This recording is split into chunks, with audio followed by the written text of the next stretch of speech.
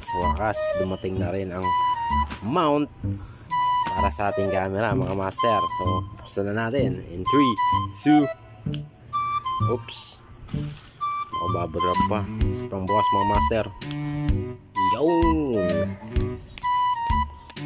so ito na siya mga master. Yung Ulanzi GP4 GoPro Quick Install Magnetic Adapter. So ito yung ginagamit ko para sa ating camera. At Gusto ko din magnet na.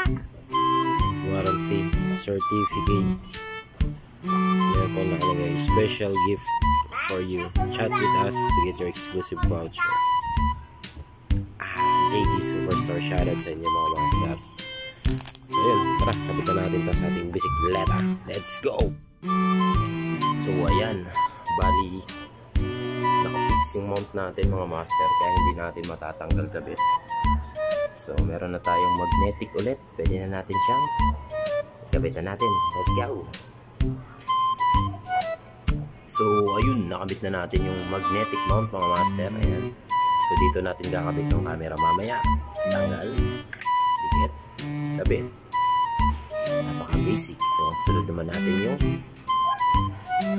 camera mount. Let's go! So, ayun, nakabit na natin mga master.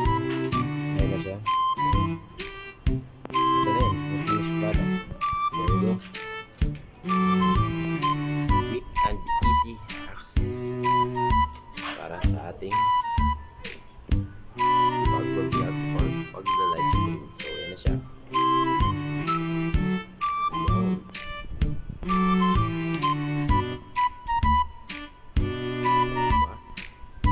Easy.